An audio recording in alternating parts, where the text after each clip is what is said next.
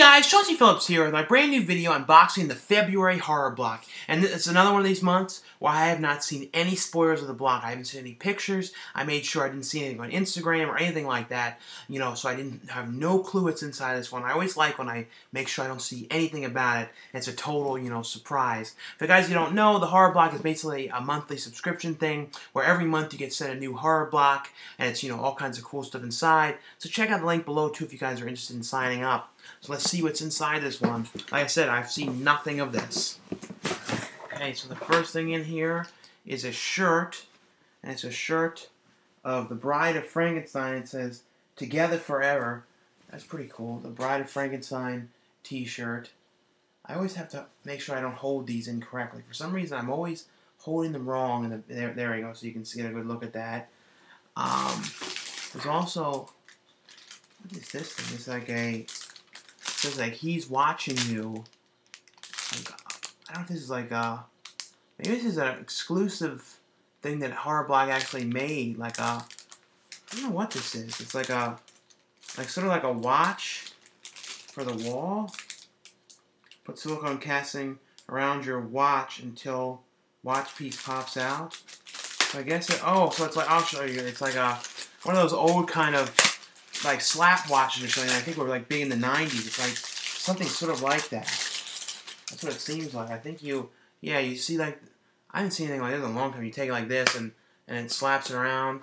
That's kind of cool. Like, I haven't seen any of these kind of things in a really long time. It's like a old school, like, slap watch thing. That's pretty cool. And then there's some kind of stuffed animal of, what is this called? Zombie virus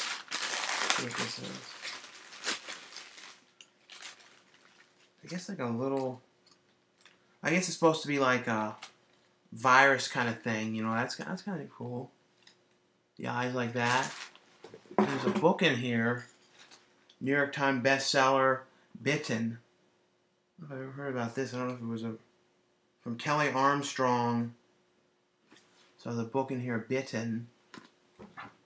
And there's some kind of a zombie. I guess it's like zombie slime or something like that. See this zombie containment? Let's see what this is. I don't know if it's like that kind of fart thing or it's like that kind of slime. I remember like toys when I was a kid used to always have like slime in it. I remember my parents were like, "You gotta throw that away because it was gonna make a huge mess." And so like all those things, I never like the Ghostbusters toys and all them. I never messed around with that.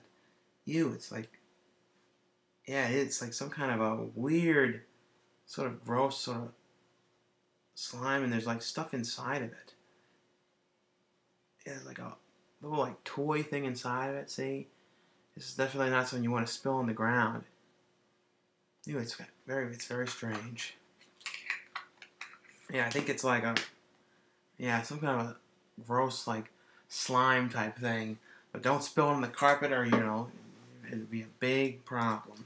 And the last thing in here is the latest Rue Morgue, you know, the uh, March issue, and then it's um, I, I, I said I always like that they, they include you know Rue Morgues and things like that in here. So anyway, though, that was a look inside of the horror block. Thanks again, guys, for checking it out. Be on the lookout this weekend for my new DVD Blu-ray update. I'm not sure if I'm going to do a horror one separate or not. I have to see, depending on how much other stuff I have to watch for this update. But anyway, though, guys, thanks again for watching, for subscribing, and I'll see you guys later.